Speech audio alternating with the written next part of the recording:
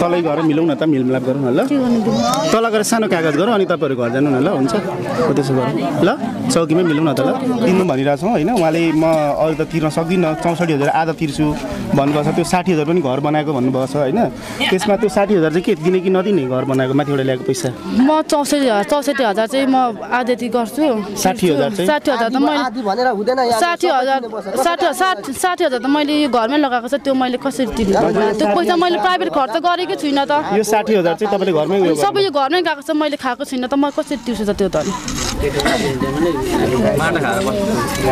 मैले दुःख गरेर खाएको छु नि। मैले दुःख गरेको छुइनँ दौड त्यो यत्रो खेती गरेको चाहिँ कसले हो? मैले दुःख गरेको छुइनँ। उसले पठाए त बल त मैले गर्नु पऱ्यो नि त यहाँ। बल मैले नगरी हुन्छ। मैले गरेँ खाएँ मैले। अनि तैँले दौड गर्नु खाने भने किन चाहिँ त्यस्तो गर्छ त अनि? कि त्यो चाहिँ सबै भोग्नु परेन हा? अब मैले चौसठी हजार छ अब किस्तामा ऋण त्यो म तिर्छु। अब यो घरको त म तिर्दिनँ। दिपक के गर्ने तिमी त्यो? के भन्छ? उसले तिर्छु भनेको चौसठी हजारको आधा तिर्छु भनेको। सहमत छौ? तिमी सहमत छौ? हुन्छ। तिमी तिमीलाई यहाँ छलफल गऱ्यौँ। यहाँ एउटा समाज बस्यो मिडिया मार्फत। भोलि गएर माथि घरमा गएर टचर दिन्छौ कि दिँदैन उसलाई पनि पुस्ता दिँदैनौँ। दिँदैनौ? कुनै टचर दिने कि नदिने? टचर पनि दिँदैन। अनि यो यो यो तपाईँको श्रीमान के अरे यो जार हुनुहुन्छ नि उहाँ पुष्पाको श्रीमान हुनुहुन्छ नि मदन।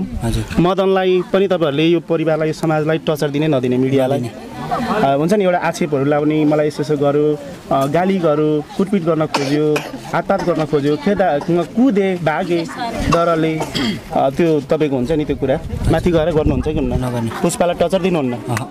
तपाईँले भर्खर चाहिँ उहाँले भनिराख्नु भएको छ इन्डियाबाट चाहिँ डेढ लाख रुपियाँ पैसा अनि त्यहाँदेखि यहाँको किस्ताको चौसठी हजार अनि यो घर बनाउँदाको साठी हजार गरेर जम्मा त अढाई लाख हुन्छ होइन?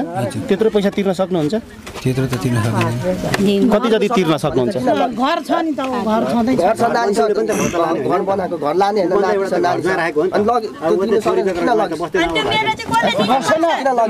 त म दिन्छु तर अहिले मसँग छैन। अहिले छैन मसँग। म दिन्छु भनेर हुँदैन। म अहिले पैसा लगेर जाने म पैसा आएको। म लगेर जाने जसरी हुन्छ तैँले अहिले अहिले म छोड्नेवाला नै छैन अब यो तेरो तेरो जिन्दगी यसरी कुटपिट गर्नु मिल्दैन। कुटपिट गरेको छैन?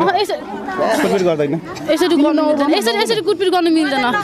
आउँदा नआउँदै हिर्का सकेको चाहिँ यसरी कुटपिट गर्नु मिल्दैन। ल अब हामीसँग तपाईँले यहाँ नमिलेपछि तपाईँले प्रहरीमा पनि उजुरी गर्नुभएको छ। त्यहाँ गएर तपाईँले छलफल गरौँ एक खालको होइन? छलफल गरेर अनि उहाँले के भन्नुहुन्छ? सरहरू आउनु छैन सबै गरिकन यिनीहरूले अब यो ऋण सिन नतिसम्म यिनीहरूले तलै पठाउने मेरो अब। तल गएर छलफल गरौँ न एक खालको छलफल गरौँ। प्रहरी सरहरूले पनि के भन्नुहुन्छ त्यो अनुसारको छलफल गरेर उहाँहरूलाई चाहिँ बिदा दिँदा राम्रो है रात पनि पर्छ होला घर टाढा जानु छ नि त। ल। है? त्यही हो अब तर अब तपाईँले छोडेपछि कुट्नु चाहिँ मिलेन हामीलाई। हामी कुट्दै कुट्दैन तपाईँलाई कुटेकै छैन तपाईँहरूले यस्तो है अब अन्तिममा तपाईँहरूको यो अब अब भयो ल बाहिर नबोल्नु सक्यो। अब सक्यो। ल छलफल सक्यो। तलै गएर हामी छलफल गरौँ ल।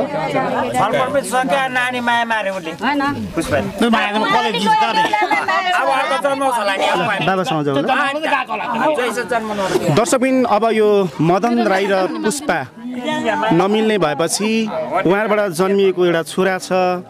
चाहिँ छोरा मदनसँग बस्दैछ भने पुष्पा दिपकसँग जाँदैछ र मदनको यो घर परिवारमा के कति खर्च आएको छ पैसाहरू के कति छ त्यो सबै सबै उहाँले हिसाब गरेर मलाई दिनुपर्छ भन्ने मदनको कुरा छ।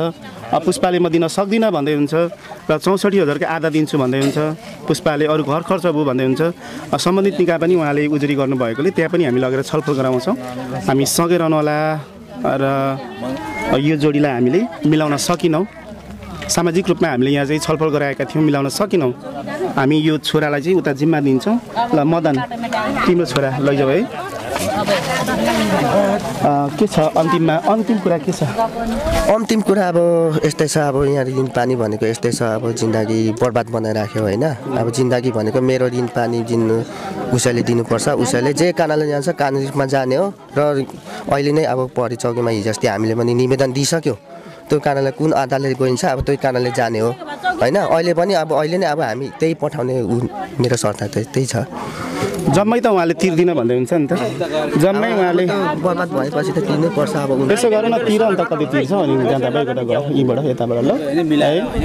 हुन्छ। कति तिर्नु ल चौकी नजाउँ यी तिर्ने भन्दैछ ल के? भन त कति कति सबै पनि तिमीले नभन नि त। सबै तिर्दिनँ म। पनि बोलाउनु पऱ्यो नि त यहाँनिर सरहरूलाई। एकछिन एकछिन यहाँ मिल्यो भने त किन बोलाउनु र? मिल्यो भने। ए अँ, सस्ताको ए बोलाउनु न। भाइ सिधा आइरहेछ क्यामेरा।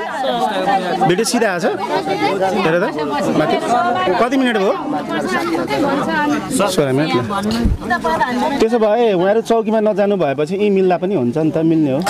होइन माथिबाट लिएको पनि दिनु पऱ्यो नि। माथिबाट त्यो घर बनाएको धनसनको कमाएको पैसाहरू सबै त उस- उसले दिनु पऱ्यो लग लगभग माथिबाट म इन्डिया बसेकोहरू पैसाहरू सबै अब उसले बुझाउनु पऱ्यो दुःख गरेर म पसिना बगाएर नानीहरूको बुढीहरूको लागि कति दुःख गरेको थिएँ होइन?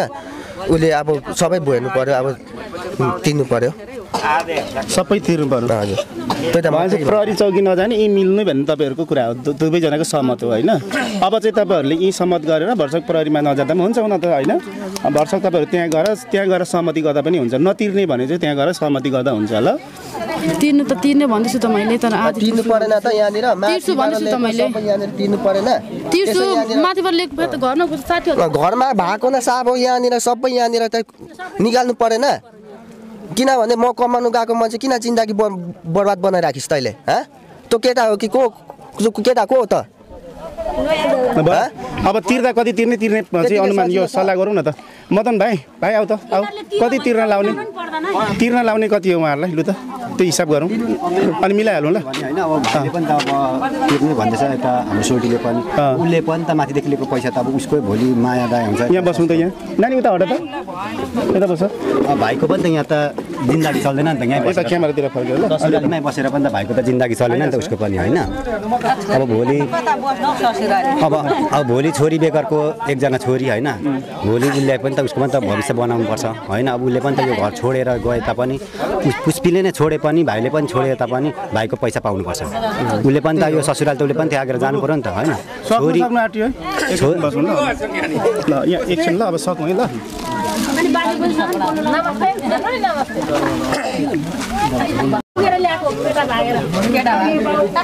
धम्की कस्तो त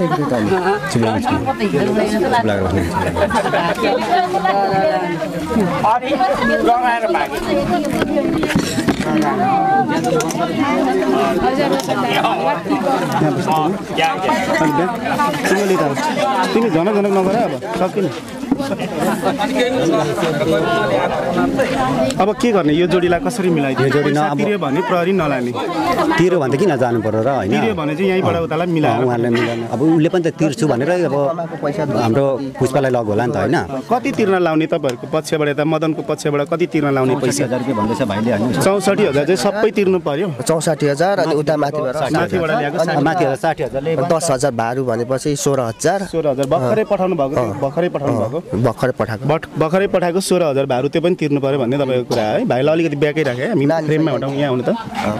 अनि पहिला पहिलाको पनि अब कति अब खर्च त्यो अब ठिकै हो नि अब त्यस्तो बस्नु। पऱ्यो। पहिला पहिलाको पनि सबै दिनु पऱ्यो भन्ने तपाईँको कुरा हो। त्यो सबै दिनु पऱ्यो भन्दै हुन्छ नि। भर्खरै पठाएको सोह्र हजार त कहाँ घरमा नेपाली तेह्र हजार मात्रै आइपुग्यो त्यो पनि मैले उता अङ्कलको दबाईमा पैसा खर्च गरेको छु।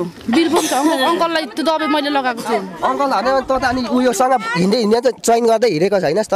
मलाई थाहा छैन? दबाई गएको छ कि के थाहा नि अब त केटासँग लफडै हिँड्ने मान्छे अब मलाई अब कति पैसा तिराउने कि तिराउने पैसाको मात्रै हिसाब गरौँ न ल लु त। जति ढाँट्यो भने मलाई नढाँट न मुला त सबै थाहा छ तिराउने पैसाको हिसाब गरौँ न यो मान्छे बिटा बिट- बिटापुटमा यो हराउने मान्छे हो यो यो केटासँग हिँडिन्थ्यो त्यतिखेर अनि मलाई कसरी थाहा पाउनु भयो तपाईँ इन्डिया बसेर उहाँ बिताउन बसेको? यो बिटामा मैले झासझुस सुन्दाखेरि चाहिँ यो यसरी? भन्थ्यो यसरी हिँड्थ्यो यसरी भन्थ्यो बिताबाट गएको छ हिँड्दैछ भन्ने सुनाउनुहुन्थ्यो। अनि- हिँड्नु भयो पुष्पाजी? म हिँडेन बिटामा थिएँ म उसलाई बोलाएर गएको म। बोलाएर चाहिँ जानुभयो? ल अन्तिममा मेलमिलाप गरौँ है। दर्शकबिन अब हामी यो जोडीलाई दुवै पक्षलाई हामी मेलमिलाप गराउन खोजिरहेका छौँ। मदनको पक्षले भन्छ करिब दुई अढाई लाख जति उहाँको हिसाबमा निक्लिन्छ। यता पुष्पा भन्छन् चौसठी हजारको आधा तिर्छु घर बनाउँदा खर्च लाग्यो। उता सोह्र हजार चाहिँ तेह्र हजार मैले तल काका बिरामी भएछ त्यहाँ मैले बिल तिरेँ त्यहाँ खर्च भएछ। अरू चाहिँ अगाडि डेढ लाख जति पैसा पठाएको सबै सबै चाहिँ खर्चहरू गरियो घर खर्चहरू गरियो भनेर चाहिँ पुष्पाले भनेपछि अब कति तिर्न लाउने त भनेर चाहिँ उहाँहरूको पक्षबाट मदनको पक्षबाट पीडित भाइको पक्षबाट चाहिँ कति पैसा तिराउनुहुन्छ उहाँले यो कुरा हामी प्रस्ताव गर्छौँ। यो मदन के अरे पुष्पा र दिपकलाई त्यस पश्चात उहाँहरू के भन्नुहुन्छ र त्यस पश्चात उहाँको त्यो पैसा कति तिर्नुहुन्छ? अ, वर्षक यो चाहिँ उहाँहरूको उहाँ बिच उहाँहरू बिच भएको यो विवाद पैसाको लेनदेनको विवाद हामी यहाँ मिलाउँछौँ भने मदनले उहाँको श्रीमतीलाई चाहिँ दिपकलाई जिम्मा दिएर जानेछ र म मदन र उहाँको अ, दाइलाई भाइलाई कति तिर्न लाउने अनि कतिमा सहमत हुने कतिमा रुजु हुने भन्ने विषयमा चाहिँ तपाईँहरूमा आज अब यो प्रस्ताव पेस गर्न लाउन चाहन्छु। हामी सँगै रहनु होला। तपाईँहरू कति तिर्न लाउनुहुन्छ उहाँलाई? यो सबै नै तिर्नु लाउने हो। अब सबै भनेको कति? सबै भन्नाले माथिबाट साठी हजार अनि 60 यताको चौसठी। हजार अनि दस हजार। अनि अनि यता दस हजार अनि गाउँमा यताउति चलाउनु भएको छ अरे। को कसको चलाउँछ? बोल्नु पऱ्यो को को- को कसको चलाएको छ यहाँनिर? सबै तिर्नु पऱ्यो उसले। ल। साठी हजार लिएको चाहिँ अब भाइको पनि त यहाँ त जिन्दगी चलेन नि त। उता एउटा घर ज्वाइँ बसेको राखेको ससु ससुराले राख्नुभएको। ससुराले राख्नुभएको। अब उसले पनि त छोरी बेगरको ज्वाइँ त बस्नु अप्ठ्यारो हुन्छ। ऊ पनि त अब आफ्नो जिन्दगी त भोलिको बाटो हेर्नु पऱ्यो र उसले पनि त त्यो साठी हजार त पाउनु पऱ्यो नि त। पाउनु पऱ्यो अब बिचरा उसले पनि दुःख गरेर लिएको भाइ तुरा छ होइन? त्यो साठी हजार त हामीले नै गनेर दिइपठाएको अब मेरै घरमा बसेको भाइ मैले राखेको भाइहरूलाई होइन? अब उसको पनि त अब अर्को नास्टोले लगिदिइसकेपछि त यो पनि त मदनको पनि भएन। मदनले पनि भोलि एक दिन एक दिन यो घर छोडेर जानुपर्छ। अनि त्यो पैसा चाहिँ कसले भुक्तानी जम्मा भनेपछि साठी चौसठी एक लाख चार हजार अनि दस हजार भारू गरेर एक लाख बिस हजार चाहिँ तिर्नु पर्यो उहाँले। लिनु पऱ्यो भन्दा पनि अलिक धेरै छ। अनि यहाँ धेरै छ। यहाँ गाउँ गाउँभित्र पनि छ। गाउँको पनि छ। लगभग कति कति छ यहाँ गाउँमा धेरै विशाल हाम्रो तलतिर चलाएको रहेछ तल होइन। त्यो चलाएको चाहिँ कसो भन्दाखेरि त्यहाँ कान्छा अङ्कल बिराम थियो। तर त्यता चाहिँ यो केटासँग डुली हिँड्दाखेरि चन गरेर जो चलाएको अरे। तर यो केटासँग डुली हिँड्दाखेरि भने सुनिन्छ यो केटासँग डुलडाल गरेर चलाएको होला होइन? अँ, त्यो सबै उसैले अब बिहाउनुपर्छ तिर्नुपर्छ होइन? उम्. उठिन्छ तिनीहरू जान्छ चौकीले पेल्दैन मान किन बुढी लगी भाइ तिमीले पनि गरेछ त्यहाँ तिर्ने भनेको तिर्नु अनि त्यसपछि चाहिँ चौकी जानु पर्दैन चौकीले भाडा लाउँदैन जम्मा एक लाख बिस हजार रुपियाँ आयो हिसाबमा तिर्न तयार हुन्छ? त्यो दस हजार त मैले तल बिल अङ्कलको हस्पिटलमा बिल गरेको थिएँ। ए तल तिर्नु भयो यो घरको चाहिँ उसले साठी हजार पुरै लिएको थिएन। उसले साठी हजार पुरै लिएको थिएन त त होइन मैले भएको कुरा बोल्छु नि त मैले झुट त बोलेको छुइनँ नि त मदन घर बनायो। मैले झुट बोलेको छुइनँ। त त म साठी त। हजार पैसा दियो घर चाहिँ को बस्छ अनि घर बसेर चाहिँ हुन्छ तँ त कोही हालिस कुकुरसँग अनि हिसाब त आएन त। बोल्दा हुन्छ। म म साठी हजार मिल्नु परेन। त बिगारेपछि हिसाबमा आउँदैन। अङ्कलबाट मैले दुई हजार उताबाट दस हजार पैसा पर लु कान्छ अङ्कलकोमा लाग्यो त अरू पैसा के गरिस्? यो केटासँग डुला त्यो भात खायौँ हामीले। अलिअलि दबाई कि कान्छिन? दबाई खर्चमा हो नि अनि? कान्छिन दबाई खर्चमा पनि गयो त्यो पैसा। त्यस्तो नगर न। के हो? भयो ल भयो अब है। अनि दादाले मलाई उसको हजार रुपियाँ दिएको थियो अनि यस्तो गरौँ है अब भयो ल। यहाँ यहाँ नमिल्ने भएपछि चौकिने जाउँ चौकिने गरेर सहमत गरौँ ल। हुन्छ। के गर्ने अँ, दिपक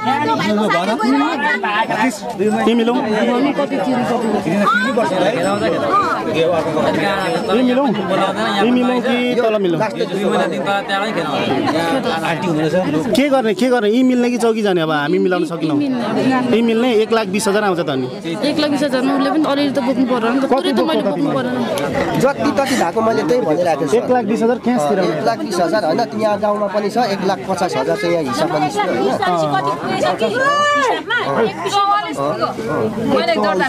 ए चौवालिस हजार निस्क्यो किस्तामा त्यति एक लाख चौवालिस हजार। सबै गरेर? ए किस्ताको सबै गरेर एक लाख चौवालिस हजार यता पुष्पाको नाममा निस्क्यो।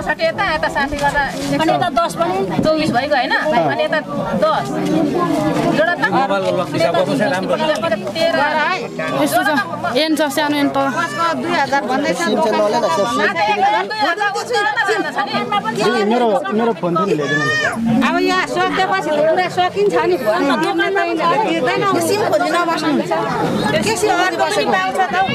त्यो सिमबाट खोज्छ भनेर यसले फ्यालेको तर के गर्नु ल अब पैसा नतिर्ने भने तलै गएर मिलौँ न त मिलमिलाप गरौँ न ल तल गएर सानो कागज गरौँ अनि तपाईँहरू घर जानु न ल हुन्छ हो त्यसो गरौँ ल चौकीमै मिलौँ न त ल चौकीमा नजानु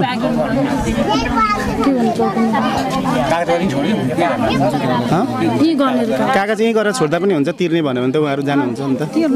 हो त्यसो गर्दा। है।